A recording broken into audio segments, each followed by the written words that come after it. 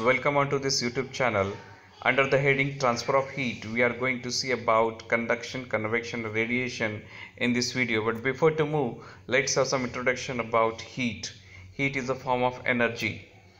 The intensity of hotness is called temperature. Everybody knows that we can't accurately tell by touching just the exact temperature.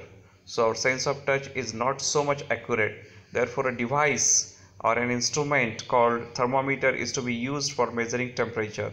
Heat is the cause of temperature.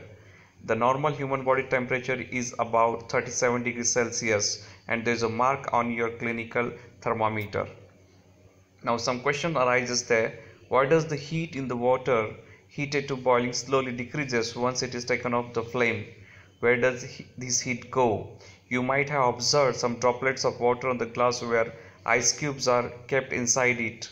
The moisture in the air cools down due to the ice cubes in the glass and collects on the outside of the glass and therefore we see droplets of water on the glass. Now about the sun. We get heat from the sun. The sun heat has many effects and uses but exactly do you know how does this heat reaches up to us or up to the earth? There is the one reason only and that is transfer of heat when we take a hot object in the vicinity of cold one the cold object becomes warm and the hot one becomes cooler. From this we can infer that heat is transferred from a hot body to a cold body. Transfer of heat means the flow of heat from one place to another. There are three ways of transfer of heat. The first one is conduction the second one is convection and the radiation. Now let's see one by one. The first one is conduction it is the process by which heat is transferred from hotter end to the colder end of solid object. Here the particles get heat energy and vibrate and passes heat to the next particle. Here we have to notice they just vibrate and give their energy to the adjacent particle. They do not leave their own place. So to prove this, let's have some experiment. Take one iron bar and copper bar. Apply wax spots with the help of candle at fixed distance and stick up some pins or needles to these spots. Now start heating. We can see that the needles or the pins start falling from the end near the burner. It means that transfer of heat takes place from the hot end of the bar to the cold. The pins on the copper bar start falling first than the pins on the iron bar. That shows conduction of heat through a substance depends on the property of that particular substance we are using.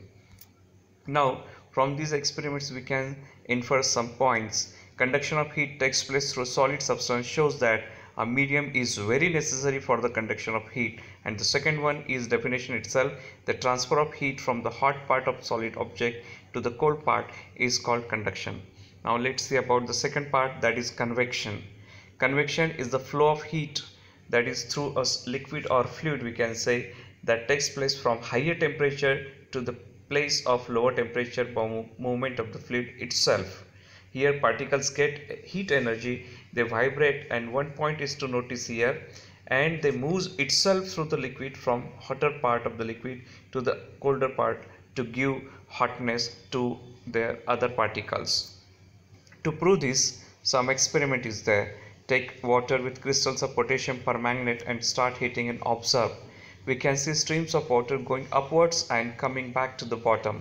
Due to the potassium permanganate, we can have some uh, spatial color streams can be identified very easily. When heating begins, the water near the bottom becomes warm and its density decreases. As a result, it moves upwards and is replaced by cold water coming from above.